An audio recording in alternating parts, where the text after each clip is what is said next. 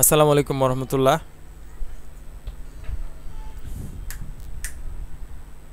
সুপ্রিয় শিক্ষার্থীবৃন্দ, আজকে আমরা যে বিষয়টি আলোচনা করতে যাচ্ছি, তা হচ্ছে পাংচুয়েশন মার্কস চলো তাহলে শুরু করা যাক। মার্কিং পাংচুয়েশন বলো তো এটা কী চিহ্ন? বিস্ময়সূচক চিহ্ন। বলো তো এটা কী চিহ্ন? কোলন চিহ্ন, কোলন। এটা বিস্ময়সূচক, এটা কোলন। বলো তো এটা কী চিহ্ন? ব্র্যাকেট। দুইটা, এই পাশে এই পাশে, ঠিক আছে? বলো তো এটা কি? প্রশ্নবোধক কোশ্চেন মার্ক বলো তো এটা কী চিহ্ন? কমা। এটা ফুল স্টপ ফুল স্টপ এটা কি চিহ্ন একটু পরে দেখো? অ্যাপোস্ট্রফি ওকে এটা ইনভার্টেড কমা ঠিক আছে?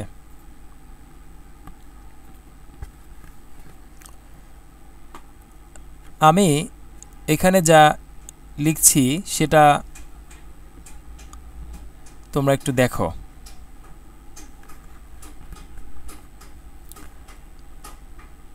এখানে লেখা আছে good morning class today we're going to study punctuation marks I have some assistants who will be helping with today's lesson so let's start ready set go দেখো, এখানে কোনো পাংচুয়েশন ব্যবহার করা হয়নি। শুধু ক্যাপিটালাইজেশন বসানো হয়েছে, অর্থাৎ বড় হাতের অক্ষর যেখানে যেখানে হবে সেখানে সেটা বসানো হয়েছে। কিন্তু কোনো punctuation full stop comma colon semicolon apostrophe inverted comma কোনো কিছু ব্যবহার করা হয়নি। দেখো, এই কার্টুনটা তোমাদেরকে বলে দিচ্ছে যে হেই ওয়েড এ মিনিট এক মিনিট অপেক্ষা করো। I forgot to put punctuation marks আমি পাংচুয়েশন মার্কস ব্যবহার করতে ভুলে গেছি। To what I just wrote আমি যা এখানে লিখলাম সেটাতে দিতে ভুলে গেছি। Well we can correct that we can correct that আমরা এটা সংশোধন করতে পারি। When we finish the lesson আমরা যখন আজকের পড়াটা শেষ করব তখন তখন আমরা এটা কারেকশন করব। ওকে চলো।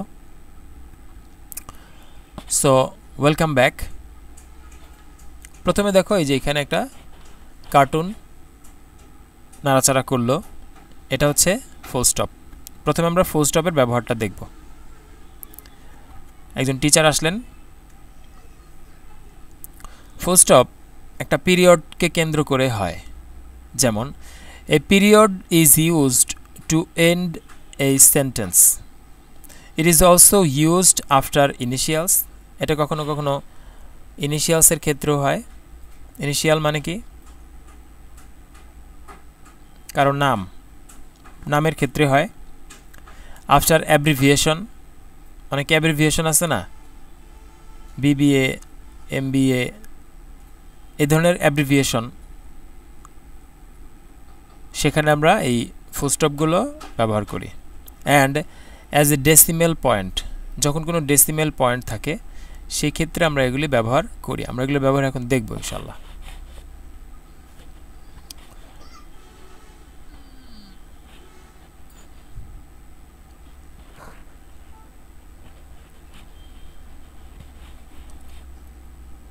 টু এন্ড এ সেন্টেন্স কোনো একটা সেন্টেন্স শেষ করার জন্য আমরা ফুল স্টপ ব্যবহার করি। দেখো example computers are getting smaller computer দিন দিন ছোট হয়ে যাচ্ছে।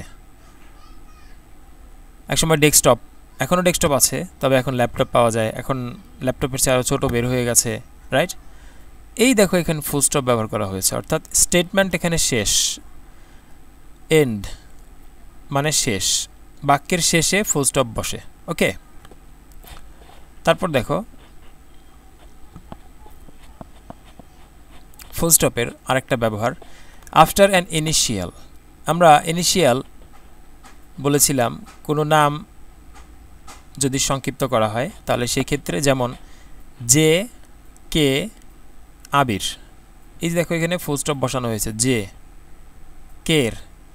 ওকে ফুল স্টপ ব্যবহার করা হয়েছে, আবির রাইট তাহলে ইনিশিয়াল এগুলিকে আমরা বলি ইনিশিয়াল স্বাক্ষর সিগনেচার তাহলে ইনিশিয়ালের সাথে ফুল স্টপ বসে, ঠিক আছে? তারপর দেখো ফুল স্টপ আরও বসে। আফটার অ্যাব্রিভিয়েশন যেখানে অ্যাব্রিভিয়েশন প্রয়োজন, সেখানে ফুল স্টপ বসে। যেমন মিস্টার মিস্টারের এখানে ফুল স্টপ প্রয়োজন হবে। মিসেস এখানেও ফুল স্টপ প্রয়োজন হবে। ডক্টর ডক্টরের এখানেও ফুল স্টপ প্রয়োজন হবে। ঠিক আছে?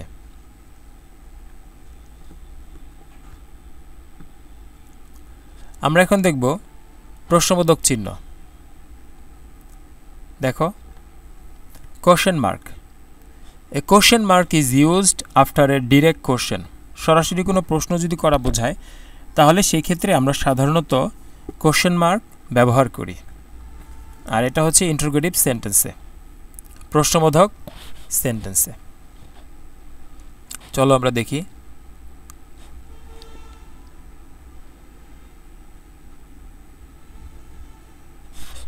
এই সেন্টেন্সটা খেয়াল করো। ডাইরেক্ট কোশ্চেন সরাসরি কোনো কোশ্চেন করলে। যেমন did you go to the movies last night did you go to the movies last nights তুমি কি গত রাতে মুভি দেখতে গিয়েছিলে? এই দেখো, একটা প্রশ্ন করার কারণে বাক্যের শেষে কী কী বসানো হয়েছে? প্রশ্নবোধক। এখানে কি দিয়ে প্রশ্ন করা হয়েছে? অক্সিলারি দিয়ে। এই কোশ্চেনটা ডাব্লিউএস কোশ্চেন দিয়েও হতে পারে। যেমন হু আর ইউ তুমি কে? এই দেখো এখানে কোশ্চেন মার্ক দেখানো হয়েছে। এই যে কোশ্চেন এই যে কোশ্চেন মার্ক এটা অক্সিলারি আর এটা হচ্ছে ডাব্লিউএস কোশ্চেন বুঝতে পেরেছ? তাহলে যেখানে অক্সিলারি দিয়ে কোনো প্রশ্ন করা বোঝাবে, তোমরা তার পেছনে একটা, তার শেষে একটা কোশ্চেন মার্ক দিয়ে দিবে। যদি সেটা ডাব্লিউএচ হয়, তাও দিবে। আর যদি সেটা অক্সিলারি দিয়ে শুরু হয়, তাহলেও তার সেখানে কি দিবে? কোশ্চেন মার্ক দিয়ে দিবে। এখন আমরা দেখব বিস্ময়সূচক চিহ্ন কোথায় বসে?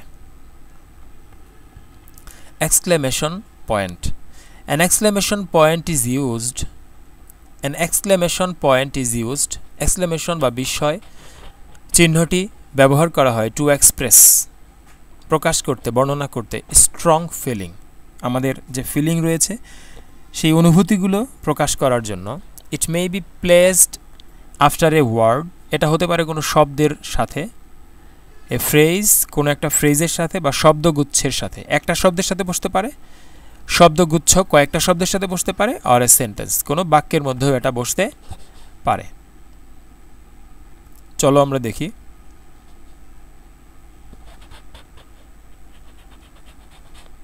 Exclamation point example happy birthday happy birthday আমরা কাউকে দেখে কি বলি? হ্যাপি বার্থডে বলি না? একটু বিস্ময় নিয়ে বলি না? হ্যাপি বার্থডে শুভ জন্মদিন। এই যে হ্যাপি বার্থডে বলছি হ্যাঁ? এই জন্য আমরা এখানে কী মার্ক ব্যবহার করেছি? এক্সক্লেমেশন পয়েন্টটা ব্যবহার করেছি। তারপর দেখো, আমি কাউকে একটা গ্রামার করতে দিলাম আর সে পারল। তাহলে আমি কি বলব? এক্সিলেন্ট সবাই আমার সাথে বলো তো? এক্সিলেন্ট ইয়েস এই যে এক্সিলেন্ট বললাম, বিস্ময় প্রকাশ করলাম চমৎকার হয়েছে। এই জন্য আমরা এখানে কী ব্যবহার করেছি?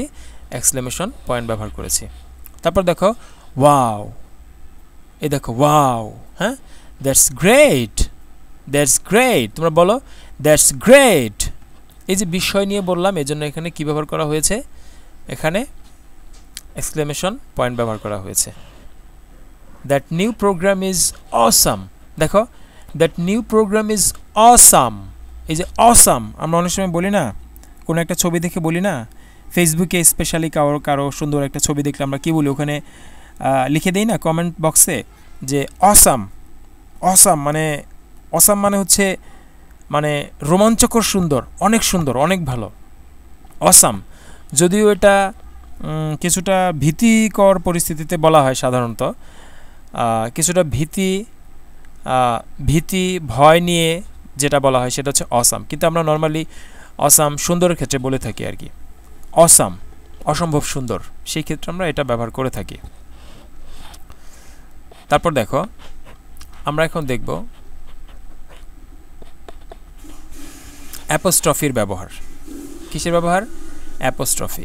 An apostrophe is used একটি অ্যাপোস্ট্রফি ব্যবহার করা হয় টু ফর্ম প্লুরালস এই যে শব্দগুলি মনে রাখবা প্লুরাল বোঝানোর জন্য। কোনো একটা শব্দকে বহুবচন করার জন্য আমরা অ্যাপোস্ট্রফি ব্যবহার করে থাকি। ঠিক ঠিক আছে? To show that a letter or letters have okay letters have been left out of a word or to show position এই যে আমরা কখনো কখনো পজিশন করার জন্য করি। পজিশন হচ্ছে অধিকার, যেমন আমার, বাবার, তোমার, এরকম আছে না? আমার স্কুল ঠিক আছে? ফাদার্স ফাদার্স পেন, বাবার কলম, এই যে বাবার বৈষ্ণব বললাম, এই ওইটা হচ্ছে পজিশন ওই ক্ষেত্রে আমরা অ্যাপোস্ট্রফিটা ব্যবহার করে থাকি। চলো আমরা দু একটা উদাহরণ দেখি।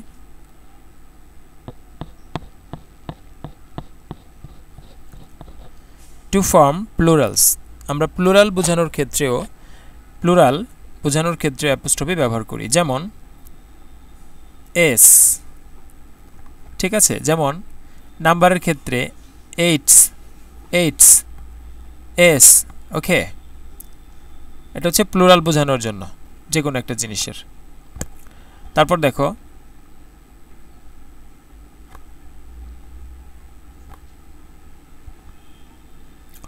ইন কন্ট্রাকশন কন্ট্রাকশন দেখো কন্ট্রাকশন মানে সংক্ষিপ্ত রূপ। এই যে কন্ট্রাকশন এটা হলো শর্ট ফর্ম শর্ট ফর ঠিক আছে? এটা হলো কন্ট্রাকশন আর এটা এটা।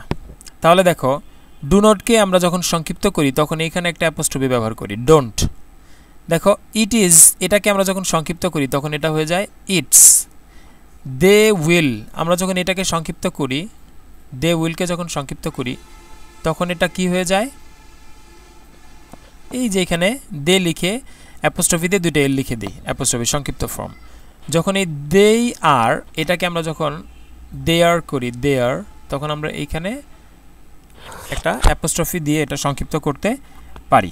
ঠিক আছে?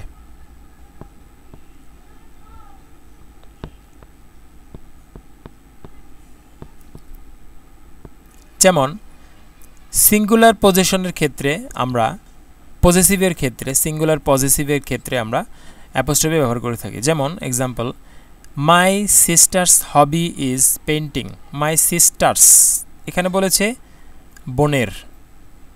এটা হলো কোনো কিছুর অধিকারে যদি থাকে, যেমন এর, এই যে বোনের। দেখেছ? My father's my sister's my teacher's okay? My sister's আমার বোনের হবি হচ্ছে, শখ হচ্ছে ড্রয়িং করা পেন্টিং করা, আঁকা। তাহলে আমার বোনের, এই যে বসনারও দিয়ে আমরা যে কথাগুলি বলি, সেই ক্ষেত্রে এই শব্দ, এটা হচ্ছে তোমার সিঙ্গুলার পজিটিভ ঠিক আছে? আজকের মতো এ পর্যন্তই। আসসালামু আলাইকুম রহমতুল্লাহ।